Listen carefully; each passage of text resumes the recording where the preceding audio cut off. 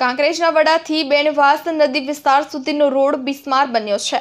બનાસ નદીમાંથી રેતી ભરી આવતા ઓવરલોડ ટ્રકોના કારણે રોડની હાલત કફોડી બની. કાંકરેજ તાલુકાના થરા શિહોરી નેશનલ હાઈવે પર આવેલા વડા ગામથી બેણાવાસ નદી વિસ્તાર સુધીનો સિંગલ પટ્ટી ડામર રોડ આવેલો છે. તે રોડ પર મોટા ખાડા પડવાથી ક્યાંક જગ્યાએ તો રોડનું નામ નિશાન પણ દેખાતું નથી. બેનાસવાડામાંથી પસાર થતો રોડ બનાસ નદીમાં પ્રવેશ કરે છે.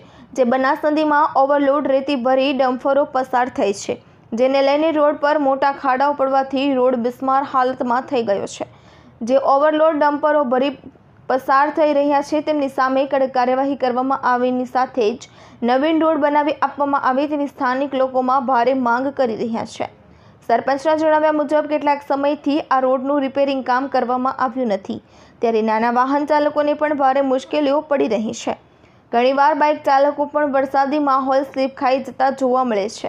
ત્યારે રોડ વિભાગ દ્વારા સત્વરે આ રસ્તાનું કામ કરાવે તેવી સ્થાનિક લોકોની માંગ છે. યોજનાની અંદર અત્યારે હાલ એટલી બિસ્માર હાલતમાં રસ્તો થઈ ગયો છે. રિપેર કરાવવાને એક સરપંચ તરીકે છ મહિના થયા છે. પણ આના ઉપર મોટા વાહનો ચાલવાના કારણે, ઓવરલોડેડ વાહનો ચાલવાના કારણે રસ્તો એક બર- એકદમ બિસ્માર હાલતમાં થઈ ગયો છે. તો મારી સરકારશ્રીને વિનંતી છે કે એક બાજુ આપ એવી વાતો કરો છો કે પ્રધાનમંત્રી ગ્રામ સડક યોજનાના રિપેરિંગ માટે આપ માય સડક એપ્લિકેશન ડાઉનલોડ કરીને ફક્ત એક એપ્લિકેશન કરશો તો પણ અમે રિપેરિંગ કરવા આવી જશો. એક સરપંચ તરીકે વારંવાર માય સડક મેરી સડક એમાં એપ્લિકેશનની અંદર વારંવાર અમે અરજી કરીએ છીએ. છતાં એનું રિપેરિંગ કામ થતું નથી. અને અત્યારે એટલી બધી બિસ્માર હાલતમાં છે કે અત્યારે છોકરાઓને, બસો છોકરાઓને આજુબાજુ શાળાઓ બે છે. એમાં ભણવા જવાનું હોય છે. ખૂબ જ હાલાકી પડી રહી છે. તો હું સરકારશ્રીને વિનંતી કરું છું કે આ રસ્તાનું જલ્દીથી જલ્દી સમારકામ કનુજી ઠાકોર જીટીવી ન્યૂઝ બનાસકાંઠા.